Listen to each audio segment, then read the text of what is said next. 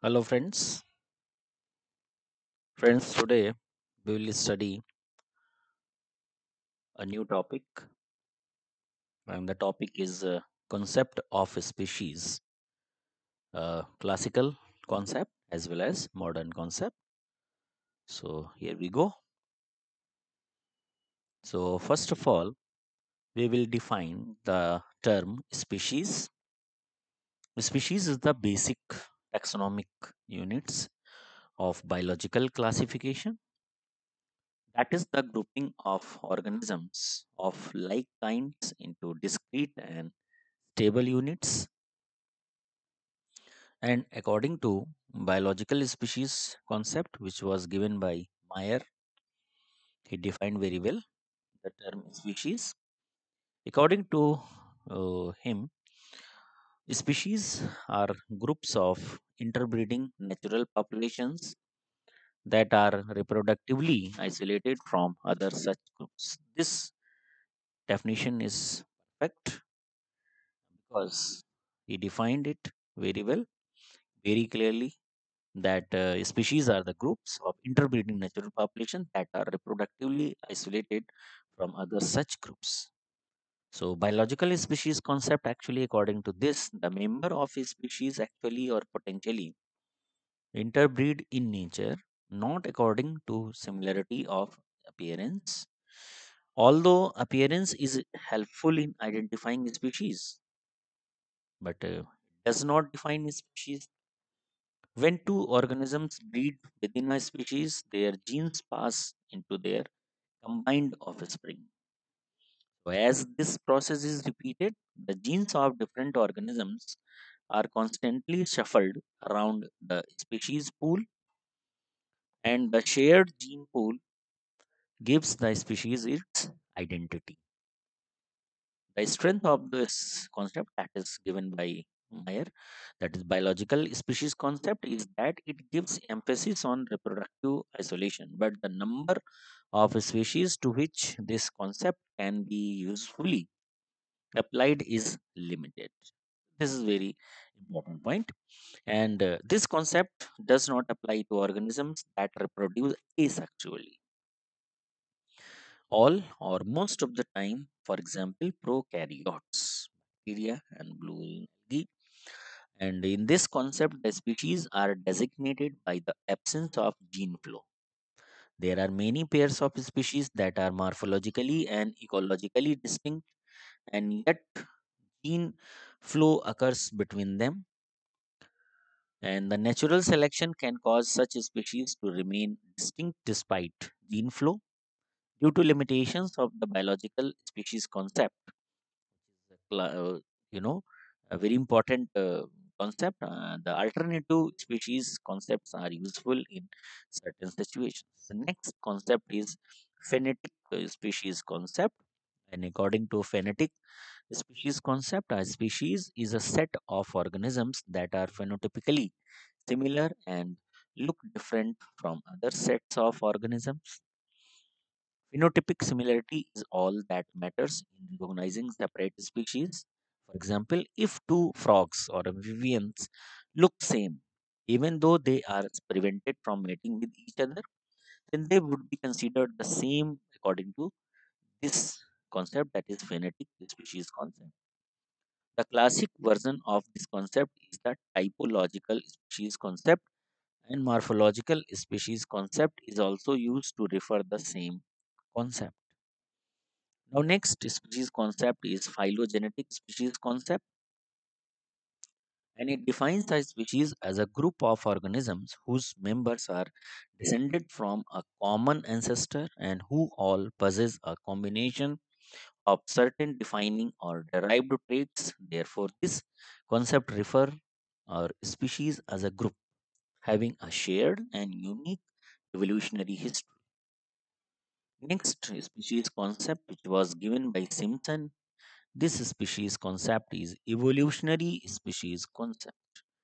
It was given by G. G. Simpson. And according to this concept, species is a group of organisms that shares an ancestor. And uh, you know, a lineage that maintains its integrity with respect to other lineages through both time and space. At some point in the progress of such a group, members may diverge from one another. When such divergence becomes sufficiently clear, then the two populations are considered as separate species.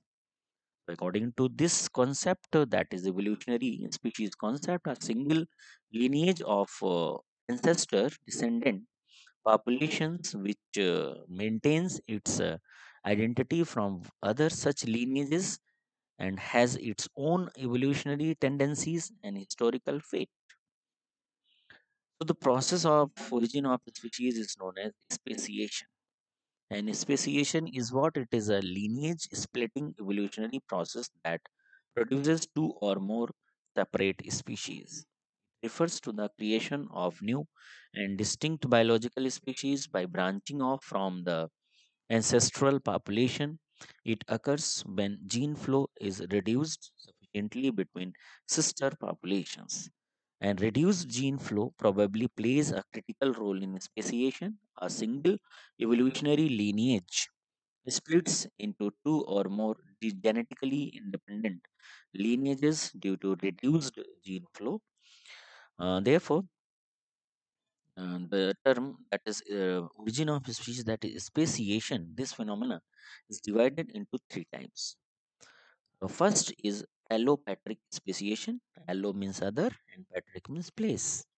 So it uh, was given by uh, E. Mayr, that is Ernest Mayr, in 1963. In this year, he gave this uh, concept that the speciation occurs through allopatry, that is geographical isolation.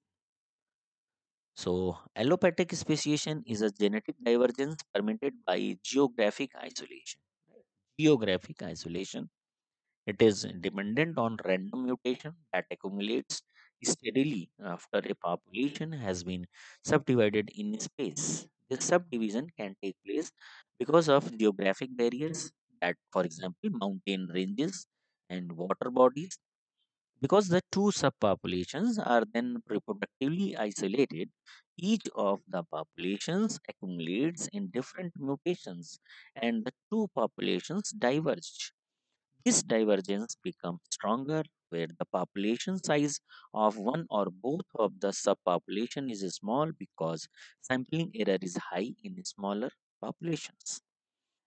These differences lead to reproductive incompatibilities that will be keeping the populations distinct. For example, divergence of Drosophila population in some island, for example, Hawaii uh, archipelago, that is uh, uh, a fruit fly. So, reproductive isolating mechanism usually originate incidentally in the speciation process. That is, they arise incidentally during the process of evolution in isolated populations rather than being selected for When isolated populations come together again, incomplete isolating mechanism may allow hybrids to form. And if the hybrids are normal, viable, and can freely interbreed with individuals of each parent population, then no speciation occurs. If the hybrids are at a, a disadvantage, uh, then the natural selection may favor stronger isolating mechanism. The organisms that mate with individuals from other populations leave fewer offspring. The result is a more effective barrier to hybridization. The regions in which previously isolating mechanism, uh, isolating populations come into contact and produce hybrids. Uh, these, uh, no, these are known as hybrid zones.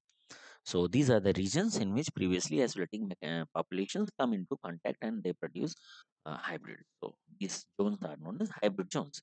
So you can see here the process of uh, this type of uh, you know mm, I, this speciation that is allopatric speciation and in this you can see a single interbreeding population and it uh, due to geographical isolation between populations and it uh, results in the increased genetic divergence among geographically isolated populations by means of genetic drift and selection, then selection for increased reproductive isolation, and finally speciation uh, results and is completed. So this is the allopatric. Now next is sympatric speciation. Sim means same and patric means place. So it does not require any geographic isolation. Remember, is very important point that is doesn't require any geographic isolation, which was important in previous type of speciation. And uh, sympatric speciation it relies on the development or reproductive isolation mechanisms to allow divergence of the two subpopulations. This reproductive isolation is the result of a number of factors including competition for resources, disruptive selection, and sexual sexual selection. In this speciation, selection acts against uh, individuals of an intermediate type, either through decreased viability or decreased fecundity it produces the evolution of mating uh, preferences and other mechanisms that result in decreased hybridization. In such speciation, selection enhances traits that promote the divergence of the populations. It is different from allopatric speciation, in which mutation passively leads to differences that allow divergence of the population. For example, divergence of uh, Rhagoletis uh, pomonella, which is a maggot maggot fly. Actually, this species has recently diverged into two subspecies due to the introduction of apple trees in the northeast United States of America, where uh, hawthorn uh, trees were native.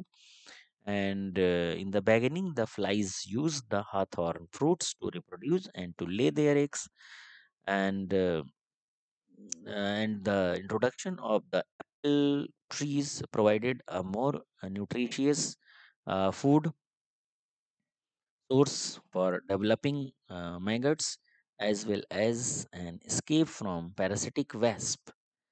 So the differences between the two types of fruits such as maturation timing allowed for the evolution of isolating mechanisms and subsequent divergence of the two subspecies. So here uh, you can see this is the sympatric type of speciation and here you can see to lay their eggs. This is eggs, right? Now you can here uh, you can see that the single interbreeding population and uh, then ecological isolation between population take place finally results in the increased genetic divergence among ecologically isolated population by means of genetic drift and selection. Then finally selection for increased reproductive isolation and finally speciation. This is the next uh, this is the um, sympatric type of speciation. Now next is uh, next is the you can see here. This is the so this is the parapatric speciation. And in this you can see that the para means besides and uh, you know uh, para means beside and patric means place. So in this you can see that um, the evolution of reproductive isolating mechanism right uh, take place when a population enters a new niche or niche or habitat within within the range of the parent species. So parapatric speciation is is me it means that para means beside patric means place. So in this the evolution of reproductive isolating mechanisms take place when a population enters a new niche or habitat within the range of the parent species. Generally, it occurs when there has been a drastic change uh, in the environment within the original species habitat, and in this uh, speciation, there is no specific extrinsic barrier. extrinsic barrier to gene flow, right? This one, extrinsic barrier to gene flow. The population is continuous, but nonetheless, uh, the population does not mate randomly. Individuals are more likely to mate with their geographic neighbors than the individuals in a different part of the population's range. In this divergence may happen because of reduced gene flow within the population and varying selection pressures across the population's range. That is, in allopatric reproductive isolation evolves after the population has been geographically isolated and in parapatric, reproductive isolation evolves when a segment of a population enter a new niche. And in sympatric, reproductive isolation uh, evolves while incipient group is still in the vicinity of the parent population. So here, here you can see these are the three picture. And first of all, you can see in allopatric actually this is the original population. Then the, initial step in the speciation. This is the barrier. So uh, barrier formation and uh, then the evolution of the reproductive isolation They are in isolation then finally new distinct species after equilibrium of a new ranges that is in allopatric um, speciation reproductive isolation evolves after the population has been geographically isolated next in parapatric here you can see that the reproductive isolation evolves when a segment of the population enters a new niche. Here you can see in the second step that the new niche uh, entered and in adjacent uh, niche, right? So that uh, here it, uh, reproductive isolation evolves when a segment of the population enters a new niche. But in sympatric, here you can see here genetic polymorphism. This is the initial step of the specific speciation and it uh, reproductive isolation evolves while the incipient group uh, actually it is present is still in the vicinity of the parent population this is the within the population and then speciation take place these are the three types of uh, uh, speciation that is the allopatric uh, speciation parapatric speciation and sympatric speciation. So this is all about the concept of species. Uh, please subscribe my channel and uh, you know press the bell icon to get my all videos. And thank you very much